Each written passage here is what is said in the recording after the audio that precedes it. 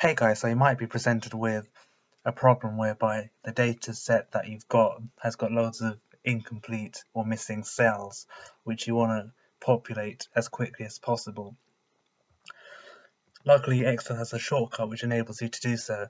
So in our example we want to populate these dates here, these missing dates with July 13. We want to populate these dates here with August 13. We also want to populate these regions with London, these with Manchester, these with Liverpool, with London, etc., etc. And the same thing goes for the department.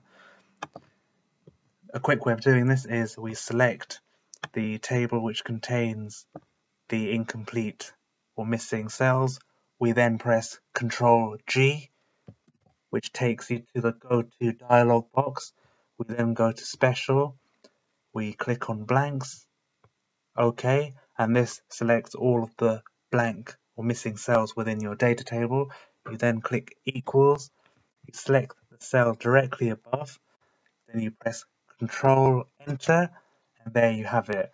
Your table is populated automatically with the relevant data. Thank you for watching.